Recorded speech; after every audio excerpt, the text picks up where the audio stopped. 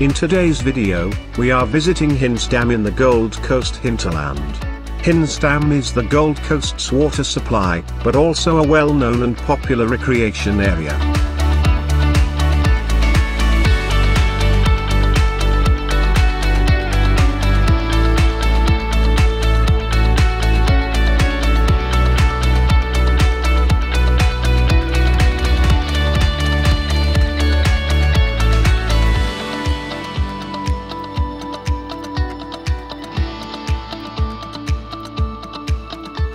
The Hinze Dam is a rock and earth fill embankment dam with an ungated spillway across the Nerang River in the Gold Coast hinterland of southeast Queensland, Australia.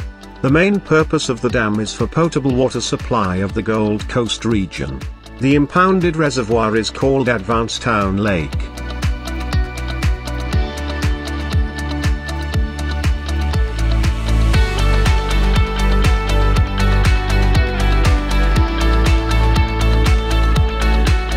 Hinze Dam was named in honor of local pioneers Carl and Johanna Hinze, grandparents of Queensland politician Russ Hinze, who lived in the valley that was flooded by the dam.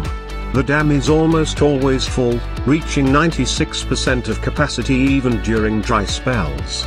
The dam is located in Advancetown, 15 kilometers southwest of Nerang immediately downstream of the confluence of the Nerang River and Little Nerang Creek.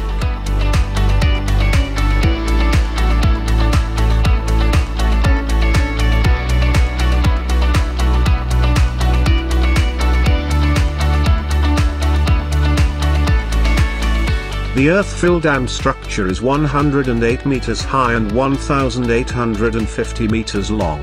The 4,261,000 cubic meter dam wall holds back the 310,730 megaliter reservoir when at full capacity.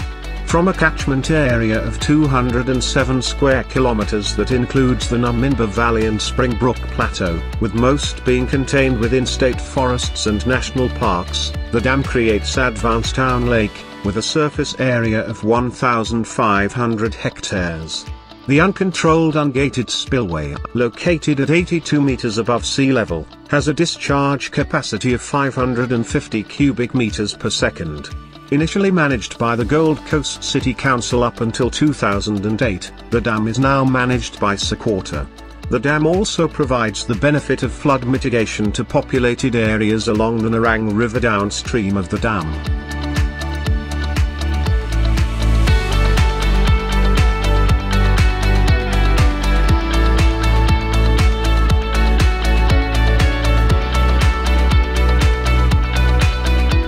Advancetown Lake is a popular recreational facility for Gold Coast residents.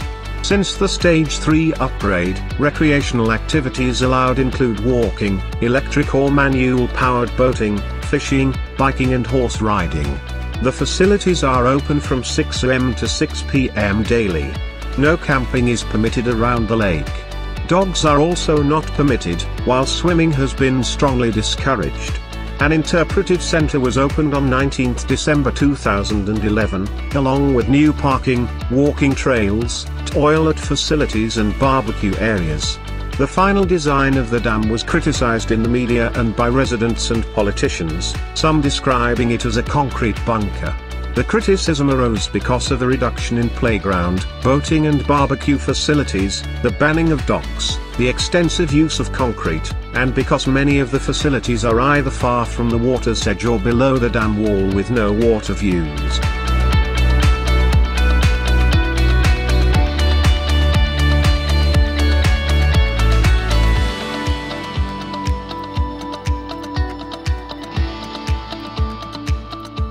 Advancetown Lake has two boat ramps, one on the western and another on the eastern side. The dam is stocked with Mary River cod, silver perch, golden perch, southern Saratoga and bass, while spangled perch are also present naturally. Banded grunter have been found in the lake and being illegally introduced, it is recommended that, if caught, they should be destroyed. A Gold Coast City Council permit is required to fish in the dam. A Queensland state government stocked impoundment permit is not required.